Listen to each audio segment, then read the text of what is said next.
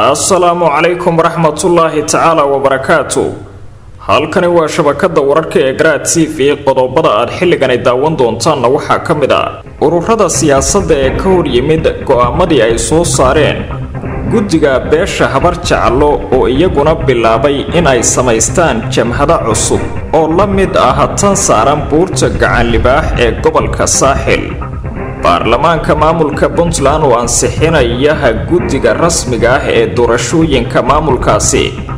Xilli khilaaf iyo kala qaybsanaan xooggan oo la xidhiirta arrintaasi ay ka jirto deegaanada puntland. Hay'ad caalamiyah oo markii ugu horreysay baahisay tirada iyo sawirada maxaabiista ciidamada somalilan ee lagu hayo magaalada laascaanood ee xarunta gobolka soola dowladda federaalk ee soomaaliya oo kun iyo shan boqol oo askari oo aada u tababaran u dirtay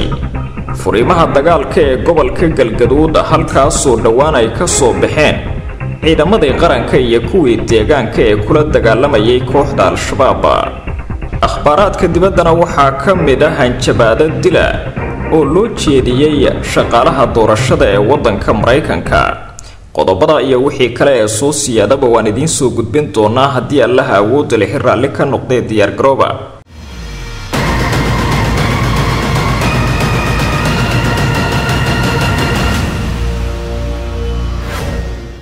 isku soo noqod habboon mar kale halkani waa garaad t v xasuusnow haddii aad joogtid xilliga salaada soo guda waajibka alle ee ku saaran dibna ugu soo laabo daawashada muuqaalkan aan ku bilaabee ururadii siyaasadda ee diiday go'aamadii ay soo saareen. Guddiga beesha bariga burco ee lagu xalinayay khilaafaadka siyaasadeed ee ka jira somalilan ayaa xilligani bilaabay in ay samaystaan. Jamhado cusub oo la mid ah tan saaran buurta gacanlibaax ee gobolka saaxil. Jamhadahani waxaa samaysanaya qaar ka mid a ururada siyaasadda ee somalilan oo ka soo horjeestay go'aankii madax dhaqameedka beesha habar jaclo. Ay soo saareen waxaana abaabulka jamhadahaasi hadda laga dareemayaa magaalada caasimada ah ee hargeysa.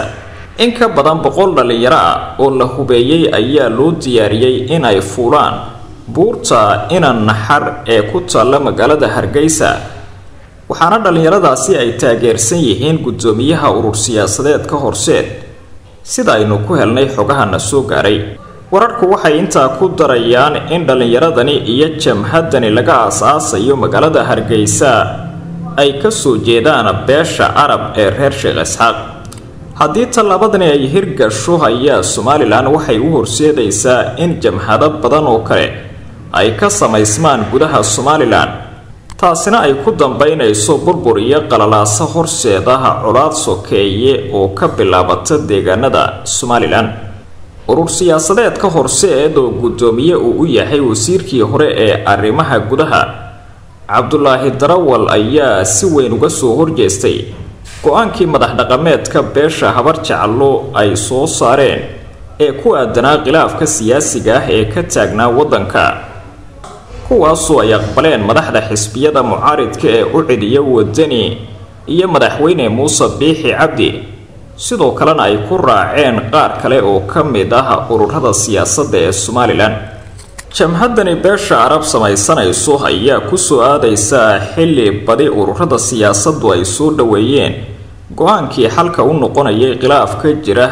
walow ay iftiimiyeen in go'aamadaasi ay yihiin kuwa ku qaraar dhankooda buurta inan naxar ee jamhadani cusub ay fuulayso ayaana ku taalla bartamaha magaalada hargeysa ee caasimada somalilan taasoo ka khatar badnaan karta jamhadii horay u saarnayd buurta gacanlibaax ee gobolka saaxil kana soo jeeday beesha garxajisa taasoo iyada qudheedu diiday go'aamadii ka soo baxay beelaha habar jaclo oo amray in maalmo kooban gudahood lagu soo dejiyo jamhadaasi lana bixiyo hudiyada askartii koob iyo tobanka ahayd ee jamhaddu ay ku laysay gobolkaasi. Wararka kale ee soo baxay waxay sheegayaan in rofesor axmed ismaaciil samatar islamarkaana ka mid a ururada siyaasadda ee ka soo horjeestay go'aamada habar jaclo in isaguna hadda uu ka bilaabay magaalada borama iyo gobolka awdalba jamhada ka soo horjeedaha xukuumadda somalilan. Taa oo lagu diidan yahay go'aamadii ka soo baxay guddiga beelaha bariga burco ee xalka looga gaaray khilaafaadka siyaasiga ahayd. Arrimahani waxay ku soo beegmayaan iyadoo hadda loo arkayay in uu yaro qaboobay khilaafaadkii dhanka siyaasadda ee ku qotomay doorashooyinka madaxtooyada iyo kuwa ururada siyaasadda ee ka taagnaa labadii sane ee la soo dhaafay deegaanada somalilan iyadoo ay si wadajir ah u aqbaleen xisbiyada mucaaridka iyo xisbiga kulmiye oo wata xukuumaddiisa een go'aamadii laga soo saaray khilaafaadka ee ay isku hawshay beesha habar jeclo islamarkaana lagu sheegay in la isi saarayo doorashooyinka ururada siyaasadda iyo madaxtooyada ayna dhacayaan sanadka laba kun labaatan iyo afarta. Baarlamaanka maamulka puntland ayaa lagu wadaa inuu ansixiyo guddiga rasmiga ee doorashooyinka maamul goboleedka puntland kuwaasoo magacooda loo soo gaabiyo b e c. Warar lagu kalsoon yahay oo ay heshay warbaahintu ayaa xaqiijinaya in maalinta talaadada ah ee toddobaadkani uu baarlamaanka puntland si rasmi ah u meel marin doono guddiga cusub ee doorashooyinka dowlad goboleedka puntland. Fadhiga golaha wakiilada ee puntland ayaa sidoo kale la filayaa inuu gebi ahaanba xirmo kadib marka la ansixiyo xubnaha guddiga doorashooyinka maamul goboleedkaasi. Madaxweynaha maamulkaasi puntland siciid cabdulaahi deni oo safar ugu maqan dalka dibaddiisa ayaa isla maalintaasi talaadada ah ee toddobaadkani. Kusoo wajahan magaalada caasimada u ah puntland ee garawe. Ansixinta guddiga rasmiga ah ee doorashooyinka puntland ayaana waxaa ka taagan kala qaybsanaan iyo dood adag oo u dhaxaysa golaha wakiilada maamulkaasi. Iyadoo dhinaca kalena ay ka qawaafsan yihiin xubnaha mucaaridka ee ku sugan gobolka nugaal kana soo horjeedaha xukuumadda madaxweyne siciidini iyo qaabka ay u wajahaysa doorashooyinka madaxtooyada. Baarlamaanka dhexdiisa ayaa la soo warinayaa inay ka jirto kala qaybsanaan ku aadan ansixinta guddiga rasmiga ah ee doorashooyinka maamulka puntland. Inkastoo aqlabiyadda ugu badan ay taageersan yihiin in la meelmariyo guddigaasi. Geesta kale isbahaysiga mucaaridka ee siciidani ka soo horjeeda oo horay ugula dagaalamay gudaha magaalada garawe ayaan ku qanacsanayn ansixinta guddigani oo aysan kalsooni fara badan ku qabin sida ay wararku sheegayaan. Khilaaf adag iyo ismaandhaaf ka taagan qabashada doorashooyinka madaxtooyada ee maamulka puntland iyo damaca siciidani ayaan weli xal rasmiya laga gaarin kaasi oo sababay in ciidamo taageersan isbahaysiga mucaaridka iyo kuwa xukuumaddu ay ku dagaalamaan bartamaha magaalada garawe ee caasimada puntland kaasoo galaaftay nolosha ku dhowaad sodomeeya qof oo ku dhintay magaalada garawe.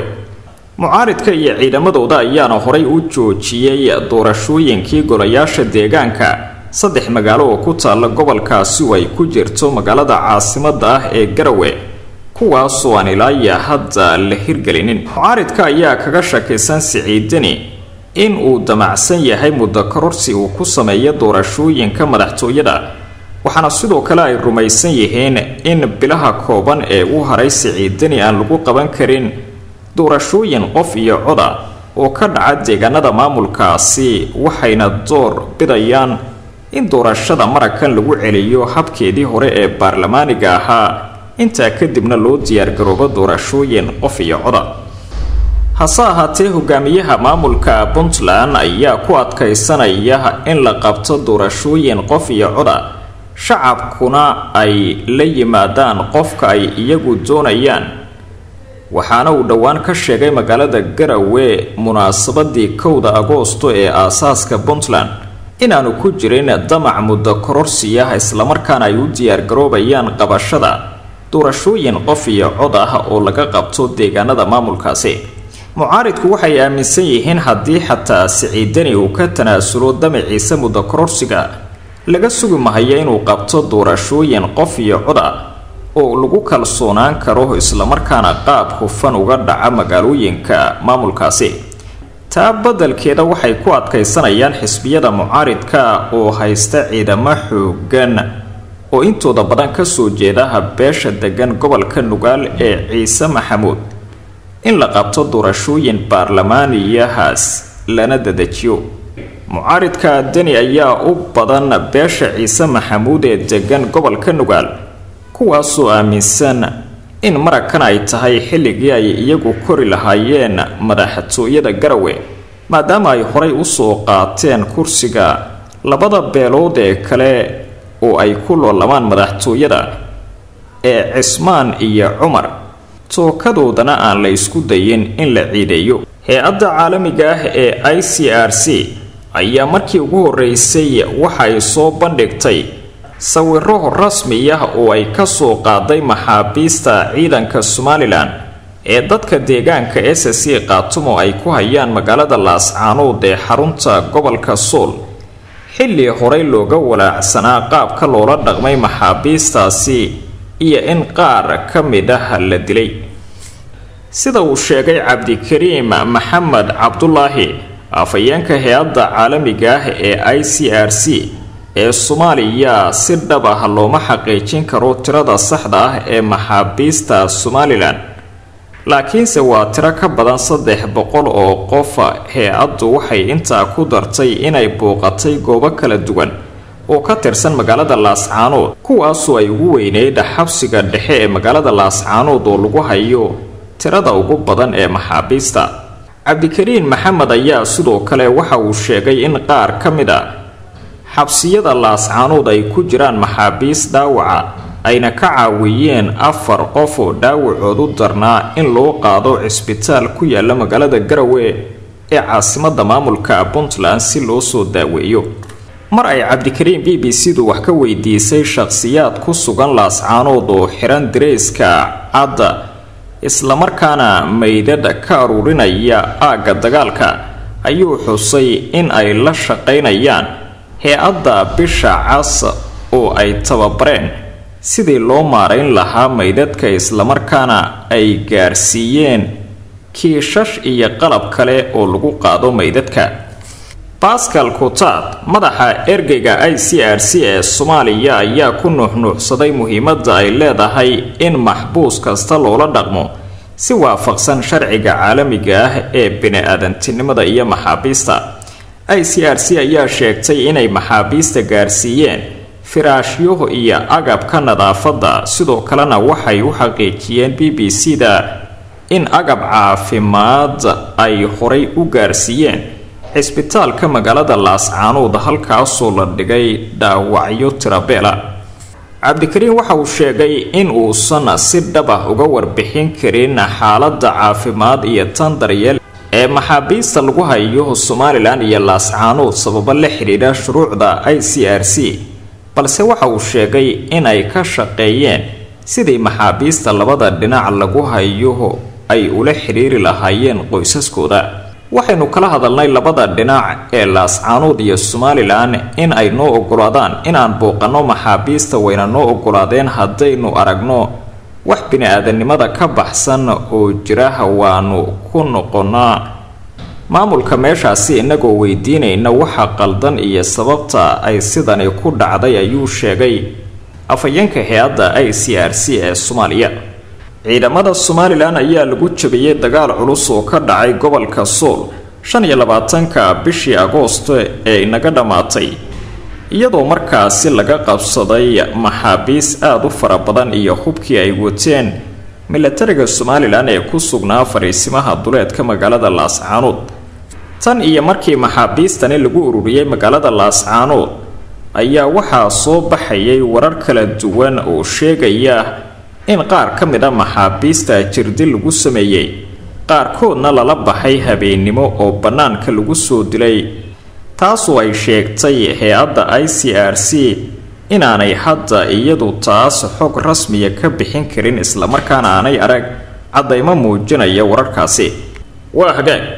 Dowladda federaalka ah ee soomaaliya ayaa ciidamo dheeraad ah u dirtay jiidda hore ee dagaalka gobolka galgaduud halkaasoo dhowaan ay ka soo baxeen ciidamadii xoogga dalka iyo kuwii deegaanka ee kula dagaalamayay kooxda al-shabaab ciidamadani oo tiro ahaan gaaraya ilaa kun iyo shan boqol oo askari ayaa laga sagootiyey degmada cadale ee gobolka shabeellaha dhexe halkaasoo ay kula hadleen xildhibaano iyo saraakiil ciidan. Askartani ayaa iskugu jirta xoogga dalka soomaaliyeed iyo kuwa dadka deegaanka ee macawisleyda oo halkaasi lagu diyaariyey waxaana u dhammaystiran qalabkooda iyo gaadiidkooda. Xildhibaan yaasiin cabdulaahi maxamuud yaasiin farey oo khudbad dardaaran ah u jeediyey ciidamada ayaa u rajeeyey guul iyo inay xoreeyaan bariga gobolka galgaduud. Waxaan rabnaa inaan idiin xaqiijiyo halganka dadaalka iyo hawsha aad ku jirtaan inuu yahay halgan iyo dadaal